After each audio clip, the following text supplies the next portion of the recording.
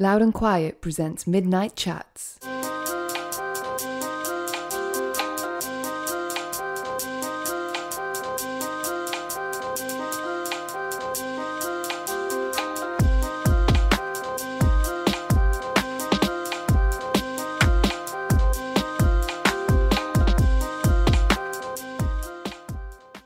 Hi everyone, welcome to the Witching Hour once again. It is the 8th of February 2018, and um, it's time for another episode of the Loud and Quiet interview podcast, Midnight Chats. It's been a long day today. I've only just got home. Um, I've been out at the theatre in the West End of London, in Theatreland. Not something I do very often, but I've just been to see The Book of Mormon, which I've wanted to see since it came over to the UK. And um, what an incredible show that is. I mean, I don't like musicals. It's not for me, but this is the best thing about this show is that it's for cynics basically who don't really like musicals. I was staring at the stage and grinning like a small child in wonder. I um this isn't a great theatre review, is it? But trust me, go and see that musical if you haven't already. Uh, it's a bit sweary, and if you like religion, then it, it might not be for you either. But um, I enjoyed that a lot. In the day, um, in fact, in the day, every day this year, we're currently doing a big project at Loud and Quiet. We're redesigning our magazine, which will be relaunching on the 10th of March that's something that we do as well as this podcast. So if you are not aware of that or haven't checked that out, please do check out our website, loudandquiet.com, where you can also find all the information about our issues that we put out. Our current one has King Gizzard and the Lizard Wizard on the cover. For now, though, you're here to hear our podcast, and my guest tonight is Gwenno Saunders, uh, a musician from Wales, and this is quite a beautiful piece of planning because today, as we tick over into a new day at midnight, it is today Welsh Language Music Day. That's an important thing because Gwenno is not only a Welsh lady and musician, she's someone who is very, very proud of her heritage. She made her debut album in 2015 completely in Welsh, which is not really something that many people do. And um, that was a great record with a real sci fi undercurrent. It translated to the last day. And as I say, the whole thing was in Welsh. It was kind of krautrocky and a bit psychedelic. Very much recommend that album. Her new album is called Le Kov, and Gwenno's gone one further and she's recorded this one completely in Cornish. Now, only 200 people in the world fluently speak Cornish, and I know what you're already thinking. It's not for me, Stuart. I don't want to hear an album completely in Cornish. I don't speak Cornish, and I can see why you would come to that conclusion. But like Gwenno's previous album, Le Kov is such a beautiful electronic album that it really doesn't matter that you can't understand a word she's saying. It's just a very gentle and kind of hypnotic listen. It comes out on March the 2nd via Heavenly. Go back and listen to The Last Day as well, released two years ago, also on Heavenly. And I don't think you're going to be disappointed, even if you don't speak Welsh or Cornish. Gwenno's led a really interesting life so far. At the age of 17, she left Cardiff, where she grew up, and went to live in Las Vegas for two years, where she danced in Michael Flatley's Lord of the Dance. Um, we speak a little bit about that at the beginning of this podcast, and it sounds like a very strange and kind of sad time. She then moved back to the UK and to Brighton, where she joined girl group The Pipettes, who you may remember for wearing some pretty great polka dot dresses and doing synchronized dance moves whilst um, singing kind of some very kitsch and retro fun songs. And uh, now she's back in Cardiff, where she lives with her two year old son and her husband Rhys, who makes music with her. They collaborate on all of Gwenno's music together. Thank you for downloading this podcast. Please do subscribe if you haven't already. We've got, um, well, I think we're going to do a podcast next week and the following week instead of um, so there so there's going to be three in a row over the next three weeks. Enjoy this one, and we'll be back in seven days' time. Greg will be your host then, and um, until then, please do enjoy this conversation that I had with Gwenno.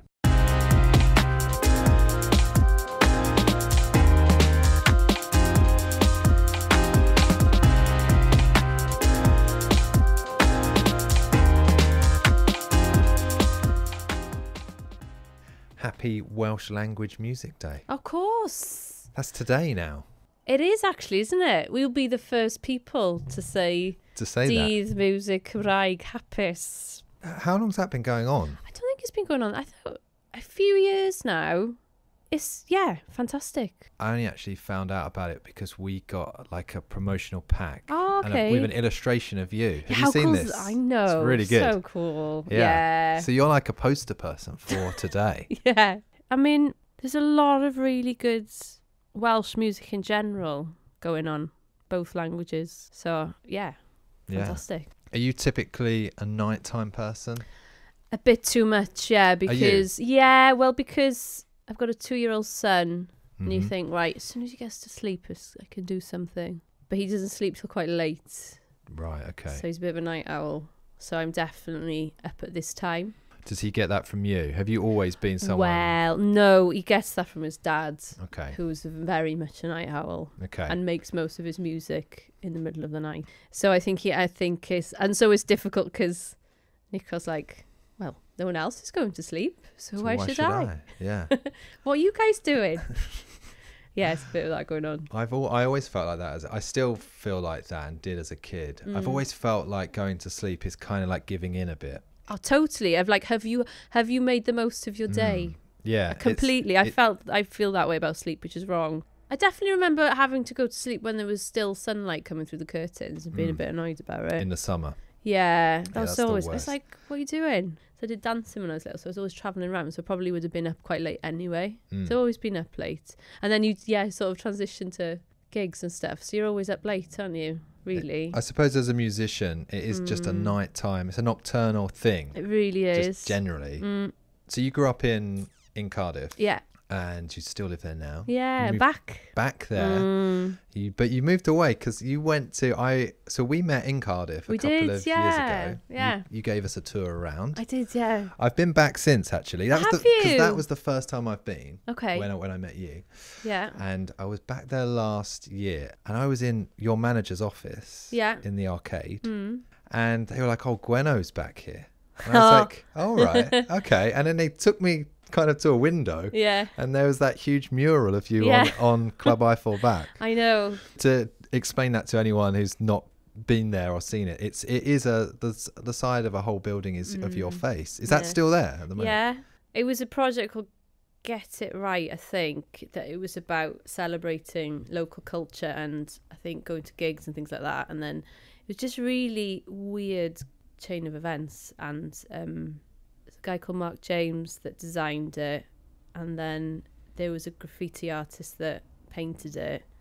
Um, yeah, and I, I- think it was just quite random that I was chosen to to do it, and then it was yeah two weeks after Nico was born it was finished, and then I took Nico to see it the other day, and he's like, "Mum, mum," like this, because it must be really weird because he probably thinks everyone's mum's on a wall, like Yeah. it's just quite a normal thing. that's a It's normal like, thing. But yeah, very um yeah, really honoured obviously, and it's sort of quite sci-fi because of it was based around the theme of my last album. Hmm. Yeah, and then I keep an eye on uh, Alan and Kevin, turnstile Yeah. office, and make sure that they're working every day. Looming over yeah, them it's times. like some kind of like Lenin-esque or like Stalin-esque mural looking over people as they're working. Yeah, it was funny because I um very long time ago was a professional Irish dancer as a teenager, and I and I um danced at the New York New York Casino in Las Vegas, and I was actually on the side of a bus. Were you? So I've been on a bus and a wall. Wow. So there's like this theme happening. I don't know. It's just very random. Again, it was just like so they just checked my face on the side of the bus. Okay, so the bus. Yeah. Um, was it just the one bus? It no, it was quite a few It's buses. like a fleet of buses. The buses that go up and down the strip. Okay, this So is in, this is in Las Vegas. Yeah, and this is when you're doing the. So you, moved to Vegas when you were like 17. Seventeen. Yeah, Why would so? And you were dancing. It was this when you were dancing in, in Lord. Lord of the Dance. yeah, yeah. As you do, Yeah, as you do. um, which is in itself is a mad thing, Completely. a completely insane thing. Re- So the- again, it's just very random, like paying 50p to go to class, and then all of a sudden it's like you can earn a living, and Hmm. and and you can like escape from your hometown because you're like, what am I gonna do? And then someone goes, here's a ticket to Australia or whatever, and you're like, oh, amazing, Great, I'll take it. yeah. And then you're on a bus. And then you're on a bus. So when you're on the so you'd see these buses driving past with Mm. your face on. Was Mm. it just you? Was there some other people in this picture? Or is it just, Just your just your big face? I've got a photo of one. I need to get it out actually. Were you in But like life is like that. It's, you know, it's just quite random. Were you in like a costume? Were you Oh, in yeah, costume? like- you were Looking sort of as angelic as I could possibly could in this sort of white dress. what was Vegas like to live in? I think Awful. people It's just horrendous. really It was awful. Awful. did you how long were you there? Two years. It was awful. Two years? It was awful. Don't people say that it's worth going to Vegas for like a weekend, but Yeah, you they don't do. need you don't need any longer than that. No, that's the, exactly what they say, and they're right. And you were there for two years. Oh my god, it's just, so, it's just, you know, it's yeah, you just saw because I'd read um, I'd read uh, um, Rough Guides to Las Vegas, and Rough Guides are really good, and actually I think it really oversold Las Vegas a little bit because it sort of you know suggested a lot more history than what actually is left because you know even like the old bit and stuff and you know to give you a bit of a backstory. And I was just so I remember landing and just being so disappointed as soon as I landed, going, "Oh my god!" And then like living seven miles from the strip, but you can see it as if it's right there because it's it's so flat. because it's so flat, right? And I was like, "I'll just take a walk."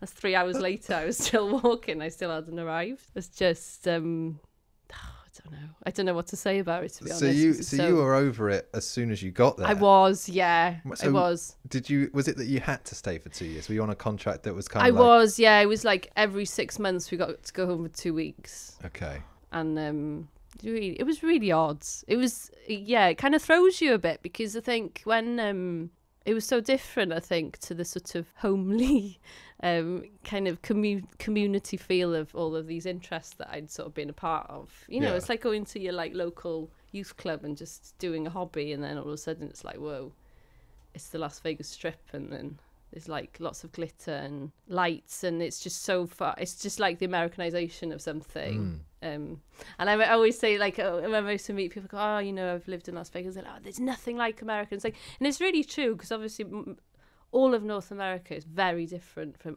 the rest of it because it's so varied. But I definitely felt that it it was a, about something American, you know, Yeah. like undeniably Sure. American. Like the, I was very, it's like the vulgarity of it. Um, Mm.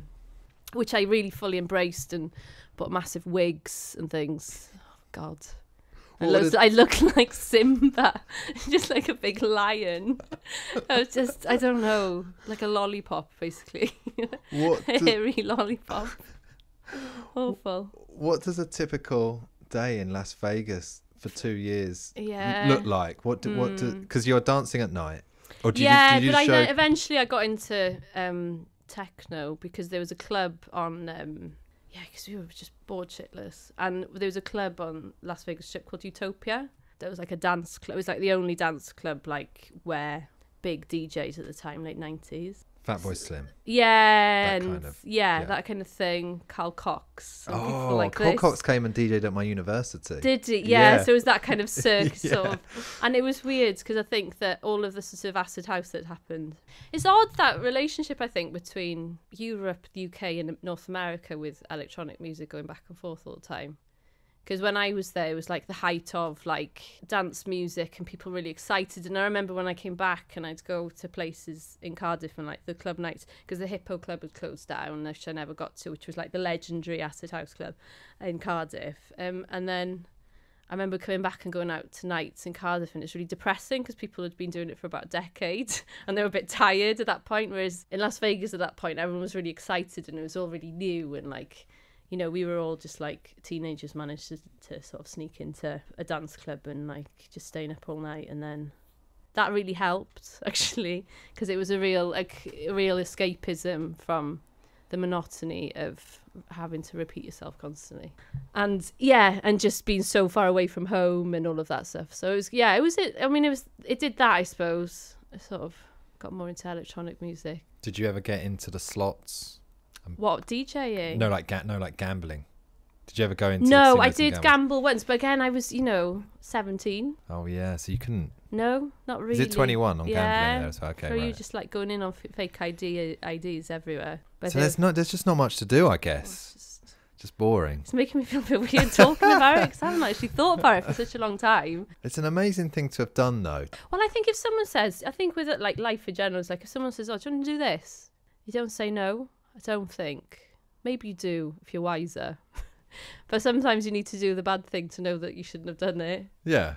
And it's, you know, and also I always think, you know, when you're really, really, really old, hopefully, and you're sat down and like maybe you're lucky to have grandchildren, they say, oh, what did you do? And you say, like, just you've always got a story to tell them. I was on a Well, bus in Vegas. Yeah, like this one time, you know, you you, you always like. I think it's you need your little adventures so that you can tell your like little stories, and they'll be like, "Whoa, but you're really old and wrinkly. How did you ever do that?" Yeah. How did That you ever meet thing. Michael Flatley? Was Michael Flatley in the show when you were in the show? Well, I did dance with Michael Flatley at um in Frankfurt in in the sort of amphitheatre where Hitler gave all his speeches. Which I always loved. So I was like, yeah, this is like this is culture squared here. this is mental. I really enjoyed that. So Okay. Yeah.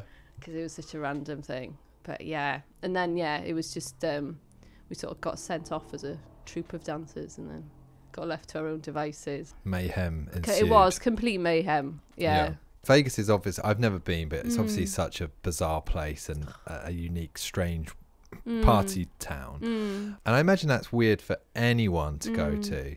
But you were not only were you really young and seventeen, Mm. but you'd grown up kind. You'd grown up in Wales, but you Yeah. you you weren't exposed to much pop music, were you, or popular No. culture as a as a kid? Um, had a very skewed um, perception of pop culture, which is Mm. probably why I was like, Vegas, fantastic. Because maybe if I was more aware of it as a, you know, a concept, I may have gone, mm, that's probably not a good idea. But yeah, just yeah, completely detached from it, and I suppose that was part of the reason why I wanted to do it, wasn't it? It's like let's go to the epicenter of capitalism, yeah, and everything that home isn't. I guess. everything, yeah, Yeah. like the extreme opposite. I still haven't digested that experience to work out what the positives were. Yeah. I'm still trying to work that out because it was just really weird. So with the the wall, not the bus, but the wall of The you. wall, yeah, Um, to the wall. obviously, your son recognizes it as Mm, you. Mm. Has anyone else like? Uh, uh, you've not been supposed like there's the lady off the wall. No. I don't. Yeah, and There's no. wall lady. there's the wall lady. Yeah. Well, the, I mean, the sort of coincidentally, I go out less because I've had a bit a child. Yeah, and you and your hair's different to and my wall. hair's different. Yeah. So, because obviously Club Bach would be the place that you go because that's where all the good gigs are. So yeah, it's not. I haven't had to stand underneath it too often for people to go, "What are you doing here?" Sort of thing. So it's been fine. Yeah, it's been absolutely fine. Growing up, you in your home, Mm. you spoke Welsh and Cornish. Yeah, and English as a third. yeah, English as well, but English. But, but not at home. We did no. you would you would just speak. Yeah, So your dad is a is a he's a Cornish poet. yeah. He's from is he he's from Cornwall. From St Tudy. Okay. Up in St Tudy, yeah. And then, um, yeah, and he learned, I think, learned Cornish from a schoolmaster at the local primary school. Um, and then, but he's quite good with languages. Yeah. Are you good with other languages? I've not, I've not felt that I'm amazing. I'm definitely not someone that would just pick it up. So it's yeah, so we- it's odds to be sort of find yourself in quite a specialist subject within linguistics Mm. when you're actually not a linguist. Yeah. I don't think so anyway. I've never felt, yeah, I definitely don't have any expertise at all. How many people speak Cornish fluently? I think a few hundred. See, and you're one of them. Mm. That's quite a. That's obviously a quite a special. intense.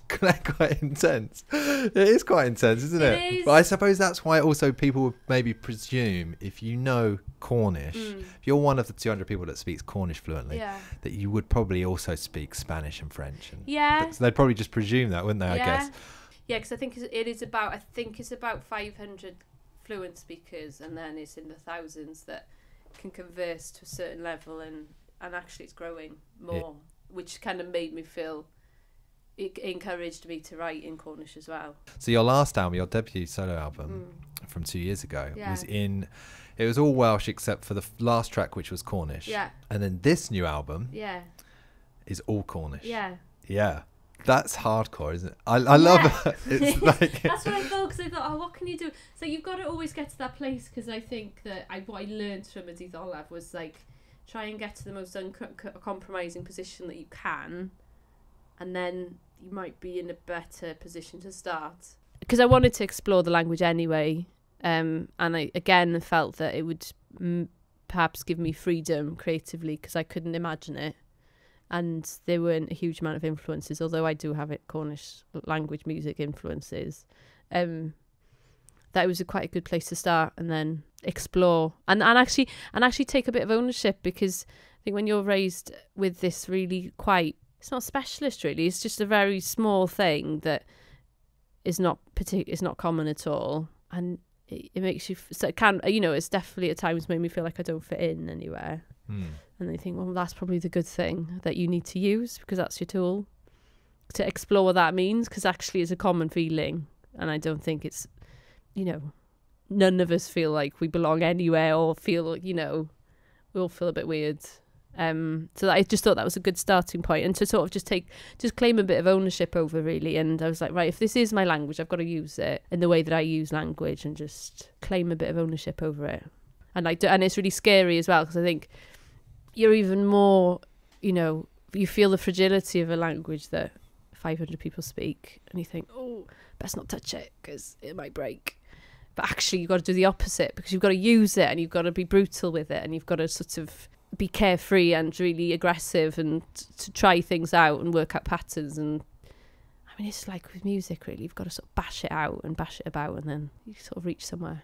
What you've done with Le Kov, the new record, Mm. I'm guessing, and this is probably a safe thing to guess. Okay. I'm presuming this, Mm. but you're using it in a way that no one, probably no one ever has. Because I imagine the other 200 people speaking fluent Cornish. Like your dad's a poet, Mm. and that's quite a traditional way to to Mm. use language. But you're using it with the type of music you're that you make. it- It's probably never been done before. Is that? Uh, yeah, to I don't think so. Yeah, but it's kind of it's again it's I think the combination of working with Rhys again on the records because I think what Rhys creates is I think his worlds with his layers and he creates a landscape with his production. There's a song on there Mm. called "Is the Cheese." Yeah. Ex- so yeah. Explain this. What is So this? it's it's a phrase I found in a book from I think the 18th century, and is is there cheese? Is there or isn't there? If there's cheese, bring cheese. If there's no cheese, bring what's easy. And I was just like, that's amazing. I love cheese. Apologies to all vegans, but I really do. And I just thought it was fantastic. It was just such a sort of chanty thing. And like when I think of Cornish, I think of it as a very um, home, playful language because I don't attach it to anything apart from family and community. And so it's a lot of fun and silliness, and that just fitted in brilliantly. And then the verses are all just like place names in Cornish. And so it's like a call to arms about is finding some cheese. And the great thing is because it's sung in Cornish. Yeah, If you were doing that, you couldn't get away with "Is there cheese" in No, English because no. people would be like, "This is kind of a bit silly," or they Yeah. wouldn't. Yeah, but it sounds kind of romantic Yeah. and beautiful Yeah, yeah, it's yeah. done in but Cornish. it's just about cheese. yeah, Yeah, but it's just a song called "Is There Cheese?" yeah, which is great. There are bits of when I first heard the record, mm. even though I knew it was in Cornish, um, it kind of just sounds like it's got a French feel to the record, yeah. No, we were thinking a lot about like Serge Gainsbourg, definitely. like the And- strings and the, some of the arrangements. Definitely, and things, yeah. we were, and particularly like the way he was amazing at conceptualizing his records as well, and just sort of again, you know, with very little equipment because we made it all at home with, you know, we don't have synths and things like that. Really, it's all sort of quite lo-fi. Um, but yeah, and I think we really wanted to create a sort of seventies feel. Yeah, quite prog Mm. and quite Celtic, which I'm I'm really fully embracing of. And actually, I think yes, let's do this because obviously I've done other people's version of what Celtic is, particularly with Lord of the Dance, um, and I think that there are better ways.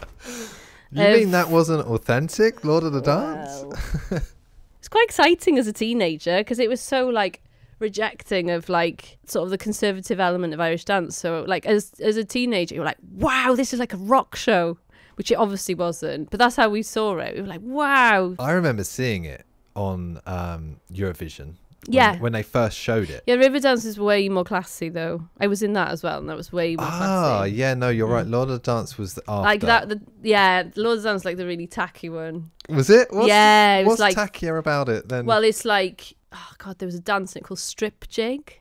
okay. I was awful. It was just like you sort of jig around in a dress and then you like take a dress off and you're just like in a crop top and shorts. It's awful. it's awful. It's like um Yeah, It's they, like- they didn't have that at Eurovision. no, they definitely didn't. But it's just so much to do with religion and stuff as well. Because I think there was a lot of that of in because like the history of Irish dancing is like the reason why people have to put their hands by their side is because of the Catholic Church. Where like you can't use your arms because it's too suggestive. Oh, So that's why it all went into the feet. And then, like, the sort of river dance thing was this burst of, like, Catholic suppression going mental and everyone going, yes, we can just strip and we can just move our arms around. And so, and particularly, like, because there were so many teenage girls in that. Yeah. Um, so I think there was a lot of that. It was just sort of went mental. right. So I think this is quite an interesting sort of context to why that show was so tacky. Okay. I'm probably going to get sued for that. There we go. So the last record, Yeah. it played a lot on technology. Yeah. And it was a protest record in lots of ways. Hmm, Um, yeah. How does this one fit? Well, I think that um, because obviously Welsh is a wider spoken language, I think there are more variations of expression in that language. And so I was quite interested in finding influences that perhaps hadn't been as celebrated or utilized, particularly post punk sort of electronic things that were a lot colder in feeling um, rather than a sort of homely folk thing. There's, I think probably there's more frustration in my al- last album. Well, I was going to say when we Yeah. met in when we met Yeah, in, in Cardiff and, and you were showing us around, it felt like that was a time when there was a lot of frustration about a lot of Mm. the things about Cardiff and things that we were talking about, the buildings they were knocking down. And we went to Butetown. Yeah, right? And um and just kind of pointing out the things like this could this shouldn't be like this and this should like Mm.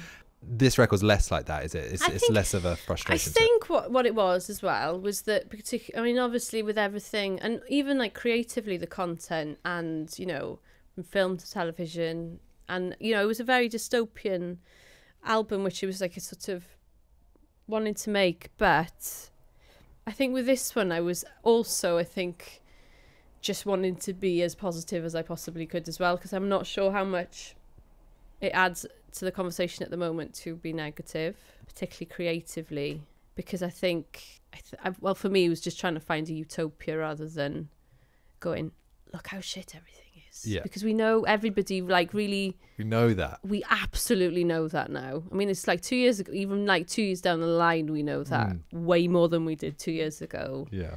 So you almost feel that you're sort of looking, and I and I felt that Cornish could give me that because of its utopian nature and wanting to exist, and that it's always drawn artists and the creativity of reviving a language and it flourishing like you know a flower.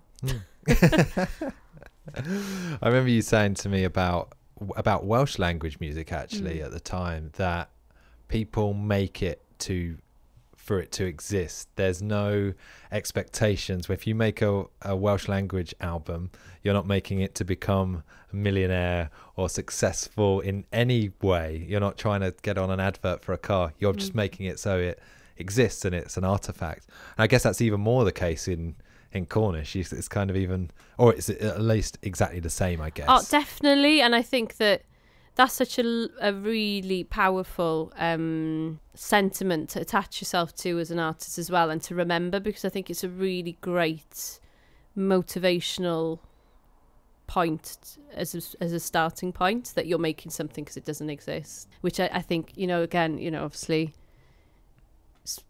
minority cultures can do that there's there's every ch- yeah you're you're creating you feel more that you're creating the narrative than perhaps you would do in a humongous narrative Hmm.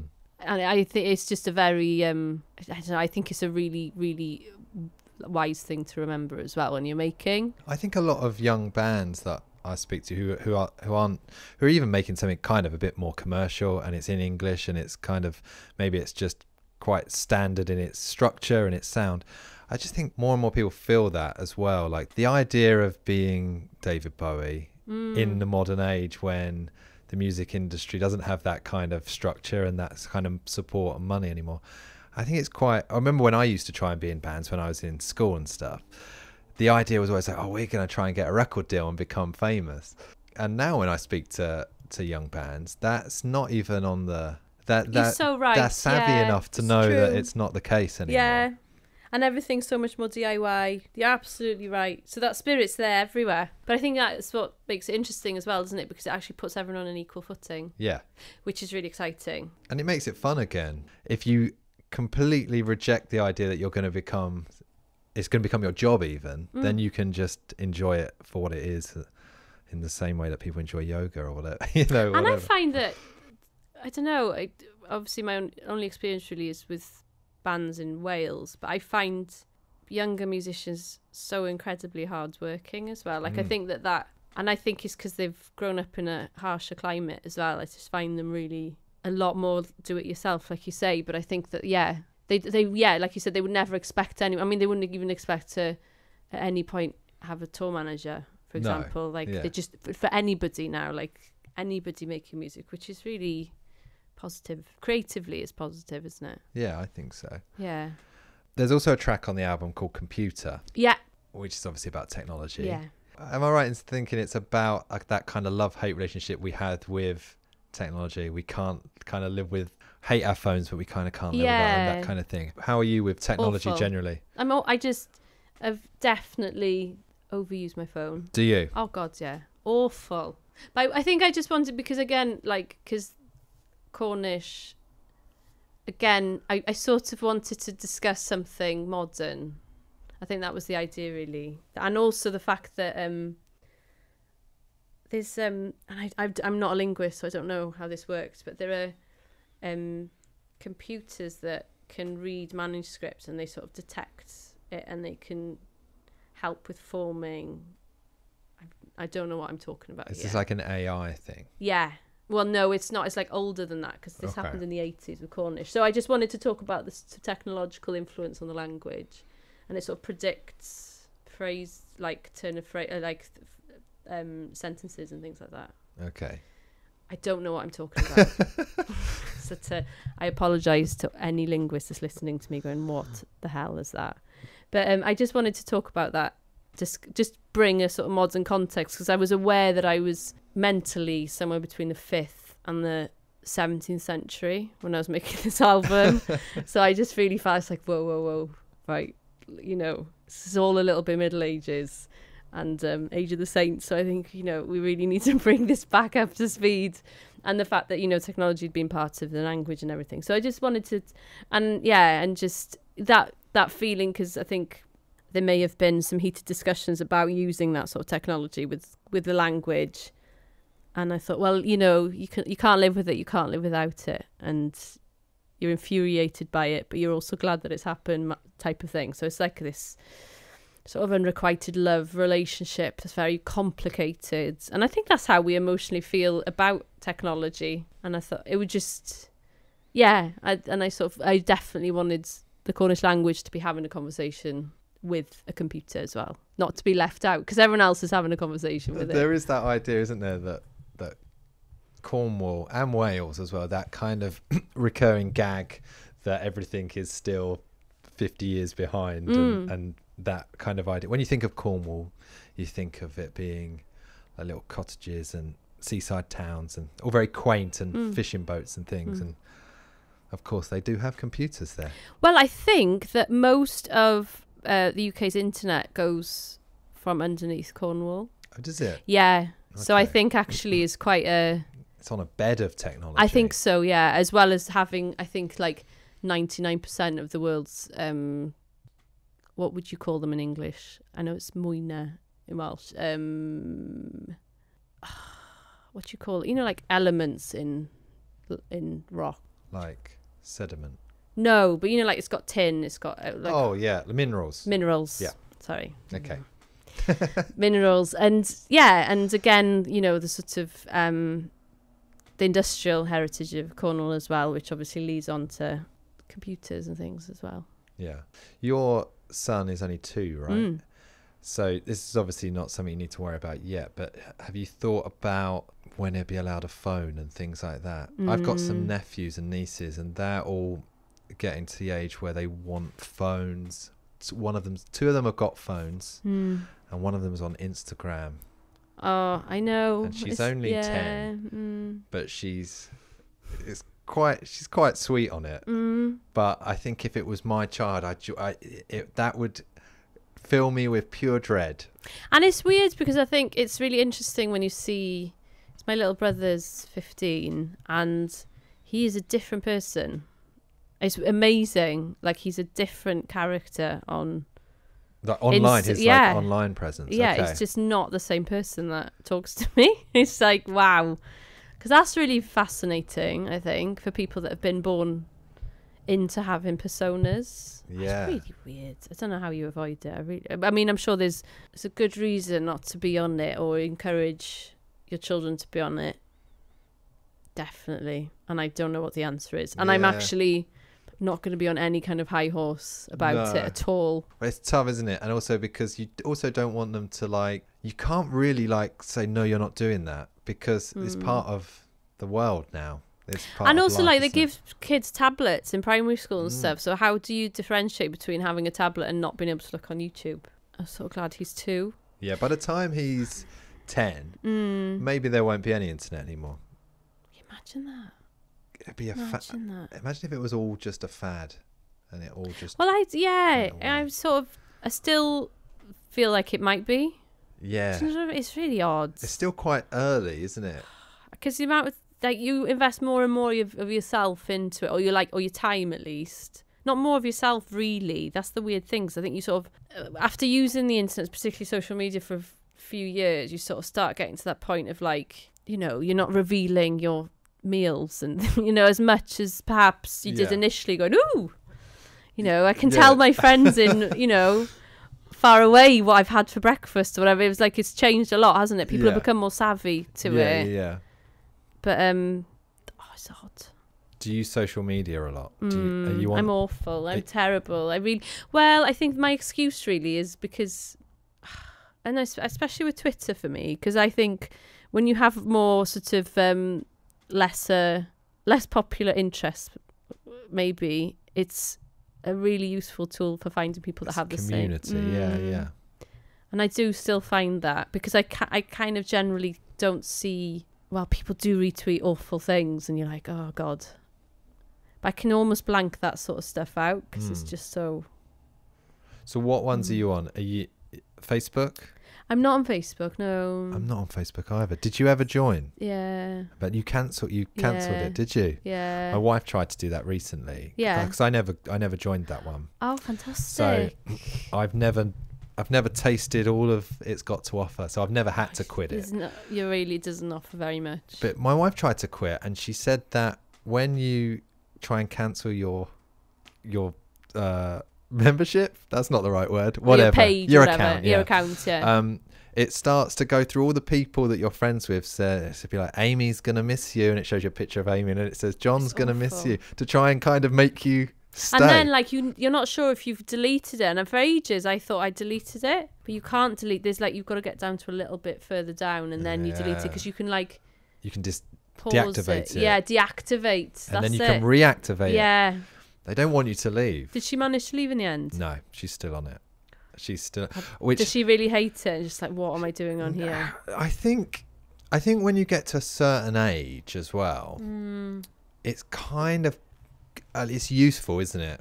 If you've if you've been traveling or you've met people from elsewhere, you can keep in touch with people. mm, Um, so I think she kind of likes it for that. But having not been on it myself, everyone I know, they always say, I've got one friend in particular, and he'll say, Oh, so and so got married or whatever. I say, Oh yeah, how did you like oh, did you speak to them? And they say and he'll always say, No, no, I um I saw it on Facebook. I'm not I'm not on there much. I, I never go on there. He says it all the time and I never go on there.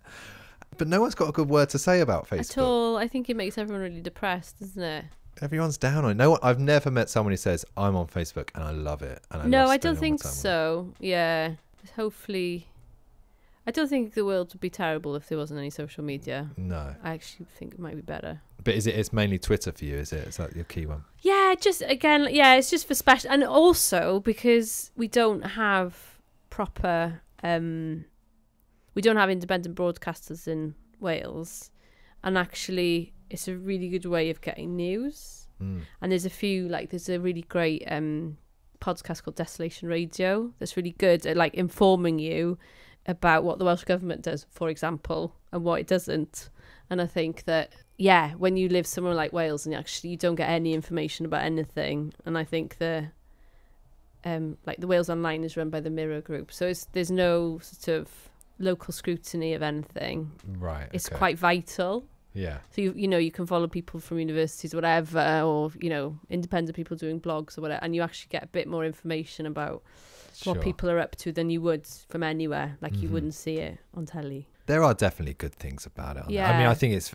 I'm guilty of it myself. I'm very easy to get on your high horse about what's so bad about it. But there are all these great things to it as well. There's probably and you I know, like you know I quite like the escapism of Instagram. I think it can be, and it is pure escapism. It's almost it's, I find that it's like replaced sort of women's magazines really more Yeah. than anything. It's yeah. just like, oh, there's a nice picture of someone in nice clothes from the high street. it's like, it's kind of it, really. It's, you know, it's kind of a like high street aspirational catalogue. yeah, it is. So what's you? You've made a whole album in Welsh. Now you've made a whole one in Cornish. Mm. What would be your next one? I don't know yet because I didn't realise I was going to make a Cornish album. Mm. Um, but I think he's trying to get to a sort of. I think he's trying to get to a point of freedom, and I I don't know what, what that would mean next. Do you think you could make one in English? I know. I d- you know I have I've thought about that. Like, as in not thought. Yeah, I'll definitely do that. But I've, it's it's crossed my mind that I have three languages, and you know I use the three of them. Mm. And what is the context with? It's quite interesting because you have these sort of three perspectives, and what are are they in relationship to the other?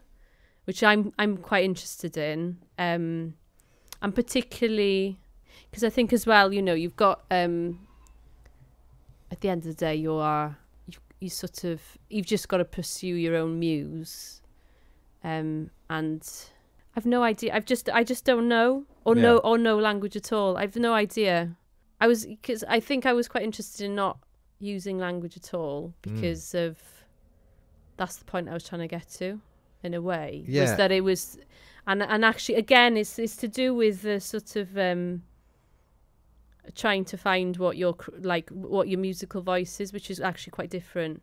And I think that's why I've definitely used Welsh and Cornish because I figured that they would be a tool for me to find it because they're the thing that like if I'm using my voice, that would be the most instinctive thing to do. Yeah. And I've absolutely for myself felt oh so much more me than I've been able to be before.